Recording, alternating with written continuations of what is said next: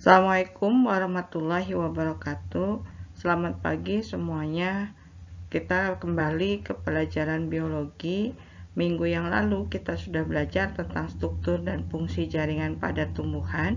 Minggu ini kita akan belajar tentang struktur dan fungsi jaringan pada hewan. Silakan kalian perhatikan gambar dari organ kulit e, berikut ini. Jadi ini ini adalah organ kulit dari tubuh manusia. Dari organ kulit ini tentunya tersusun dari berbagai macam jaringan. Dapatkah kalian menyebutkan jaringan yang menyusun anatomi kulit pada gambar berikut ini? Untuk menjawab pertanyaan tadi, Silakan kalian simak uraian materi yang akan Ibu sampaikan hari ini, yaitu tentang struktur dan fungsi jaringan pada hewan. Hewan merupakan organisme multiseluler yang terdiri atas banyak sel. Sel-sel tersebut akan membentuk jaringan, kemudian beberapa jaringan akan membentuk organ, dan beberapa organ akan membentuk sistem organ. Berbagai macam jaringan pada manusia dikaji oleh cabang biologi yang disebut dengan histologi tubuh manusia. Jaringan hewan vertebrata dan manusia dapat diamati dengan mikroskop cahaya maupun mikroskop elektron. Jaringan tubuh hewan vertebrata dapat dibedakan menjadi empat jaringan dasar, yaitu jaringan epitel, jaringan ikat atau jaringan penyambung, jaringan otot, dan jaringan saraf. Jaringan pada hewan yang pertama adalah jaringan epitel. Jaringan epitel dapat berupa membran atau berupa kelenjar. Membran epitel tersusun dari sel-sel yang melapisi permukaan luar atau membatasi permukaan dalam suatu rongga tubuh. Sementara kelenjar epitel berkembang dari permukaan epitel dengan cara tumbuh ke dalam jaringan ikat di bawahnya. Seluruh jaringan epitel terletak pada suatu lamina basalis atau lamina membran basal yang memisahkan epitel dari jaringan ikat di bawahnya dari pembuluh darah, dan dari jaringan saraf. Permukaan sel yang berhadapan dengan lumen disebut dengan permukaan apikal. Permukaan yang terletak di antara sel-sel disebut permukaan lateral dan permukaan yang berhadapan dengan membran basal disebut dengan permukaan basal. Sementara epitel yang melapisi permukaan luar tubuh disebut dengan epitelium, yang membatasi rongga tubuh disebut mesotelium, dan yang membatasi organ disebut dengan endotelium. Ciri-ciri dari jaringan epitel adalah terdiri atas sel-sel yang bersisi, bersudut banyak, terkadang bentuknya tidak beraturan. Jadi di sini bentuknya nanti bervariasi, ada yang berbentuk pipih, kemudian berbentuk kubus, berbentuk silindris, atau tidak beraturan bentuknya. Yang kedua, sel-selnya tersusun rapat tanpa atau sedikit substansi interseluler. Ini berhubungan dengan fungsi daripada jaringan epitel yaitu sebagai pelindung jaringan di bawahnya. Yang ketiga, memiliki daya regenerasi tinggi, sehingga sel-sel epitel yang sudah rusak atau sudah e, tua, sudah mati, itu diganti dengan sel-sel epitel yang baru. Yang keempat, beberapa jenis jaringan epitel memiliki tonjolan yang disebut dengan mikrofili. Ini juga berhubungan dengan fungsi dari jaringan epitel itu sendiri. Biasanya terdapat pada bagian organ dalam, contohnya pada bagian usus. Kemudian ciri yang terakhir, jaringan epitel itu tidak mengandung pembuluh darah dan pembuluh limpa, sehingga Nutrisi diperoleh secara difusi dari cairan jaringan ikat di bawahnya. Sedangkan fungsi epitel yang pertama adalah melindungi jaringan di bawahnya dari dehidrasi atau pengaruh agen kimiawi ataupun biologi. Yang kedua, sebagai transport zat-zat antar jaringan atau rongga yang dipisahkan. Yang ketiga, sebagai absorpsi atau penyerapan sari makanan, misalnya pada epitel usus halus. Yang keempat, sekresi, yaitu menghasilkan zat atau enzim dari epitel membran maupun kelenjar. Yang berikutnya adalah ekresi, yaitu membuang sisa-sisa metabolisme air, CO2, dan garam-garam tertentu. Berikutnya, berfungsi sebagai eksteroreseptor, yaitu menerima stimulus dari lingkungan. Cabang-cabang terminal sel cabang-cabang terminal serat salap halus yang terdapat di dalam jaringan ikat dapat menembus ke dalam membran basal dan menyusup di antara sel-sel epitel sehingga sel epitel bisa menerima stimulus dari lingkungan atau tadi disebut dengan eksteroreseptor. Fungsi yang terakhir adalah membantu respirasi, misalnya pada hewan yang hidup di air. Nah, jadi hewan yang hidup di air respirasinya dibantu oleh jaringan epitel. Jaringan epitel yang pertama adalah jaringan epitel pipih. Jaringan epitel pipih merupakan jaringan yang berbentuk sangat tipis seperti lembaran, tingginya lebih rendah daripada lebarnya. Jika dilihat dari samping terlihat melebar di bagian inti selnya dan inti sel tampak seperti cakram. Berdasarkan susunannya, epitel pipih dapat dibedakan menjadi dua macam.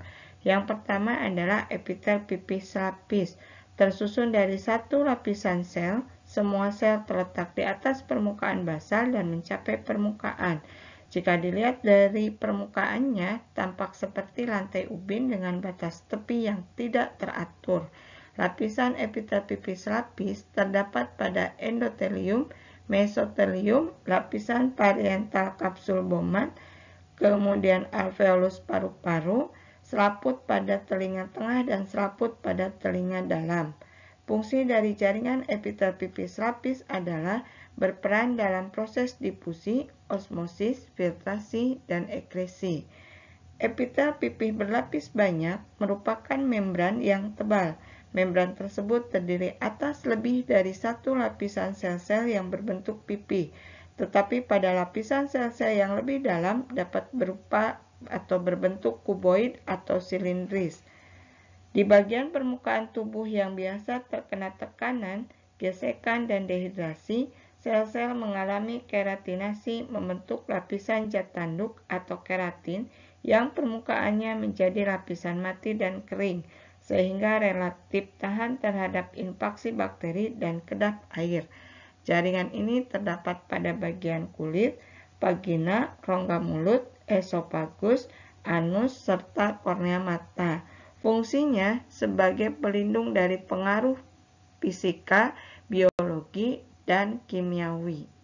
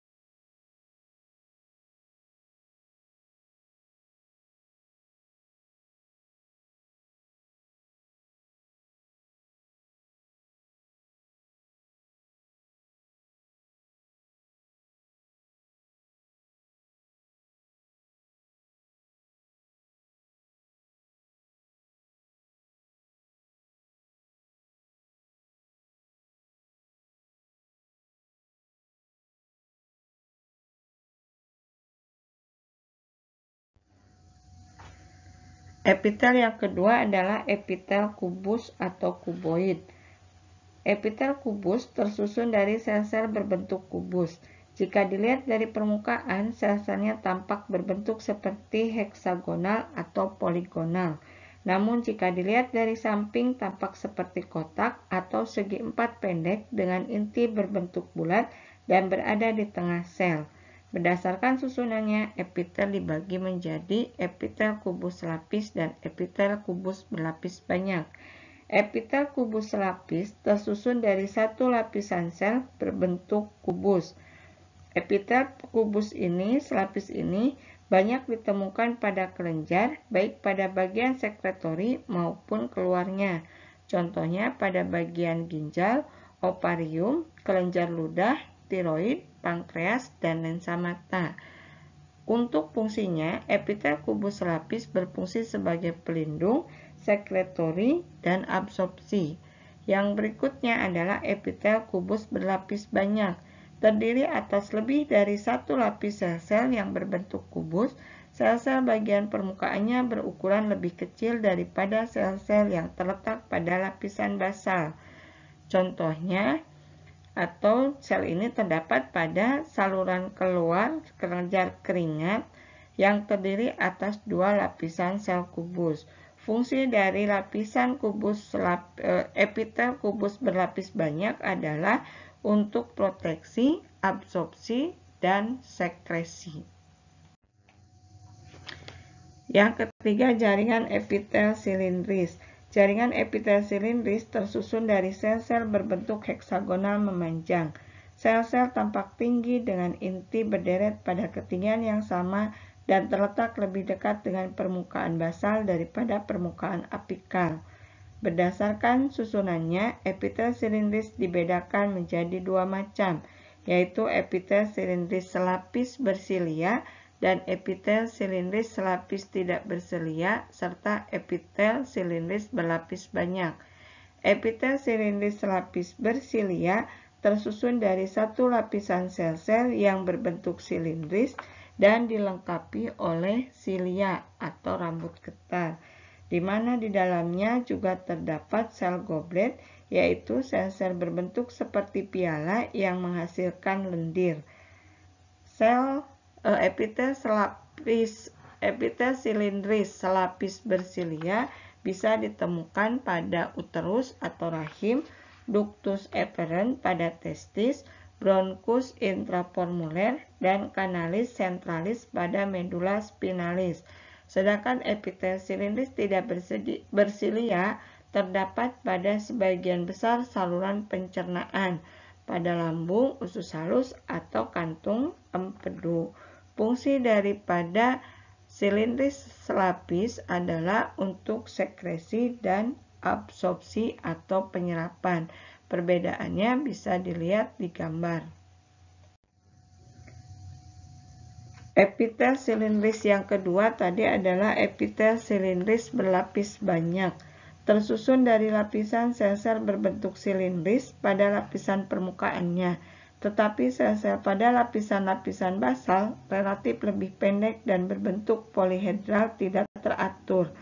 Epitel silindris berlapis banyak berfungsi untuk perlindungan dan sekresi. Terdapat pada bagian uretra, faring, laring, trakea, dan kelenjar ludah.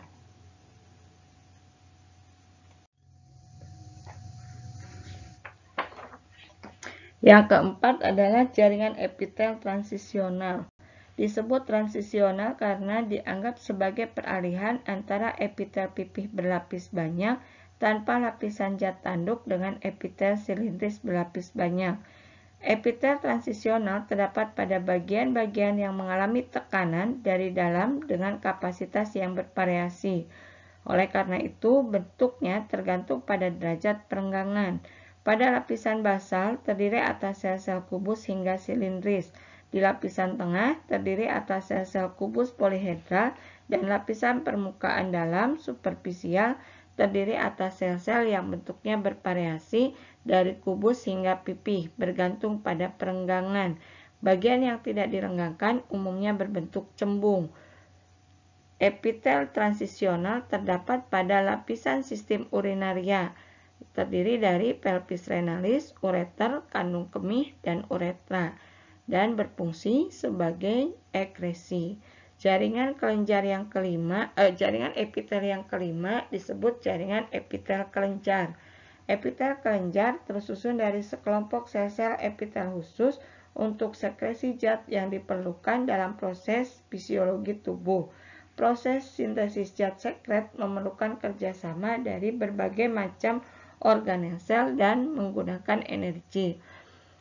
Jaringan epitel kelenjar dibedakan menjadi kelenjar eksokrin, yaitu menyalurkan sekretnya ke, ke suatu permukaan tubuh.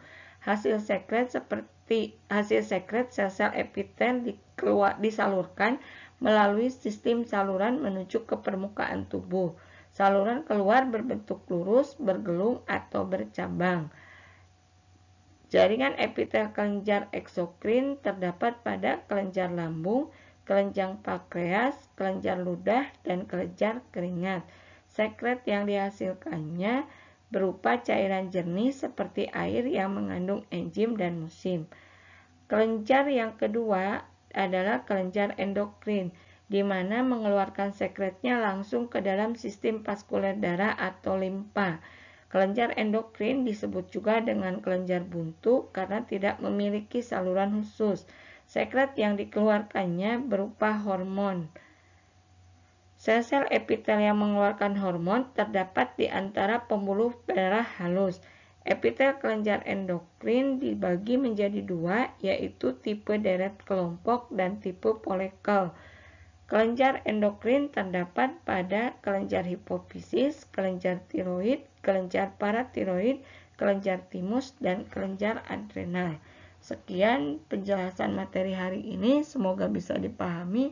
Wassalamualaikum warahmatullahi wabarakatuh.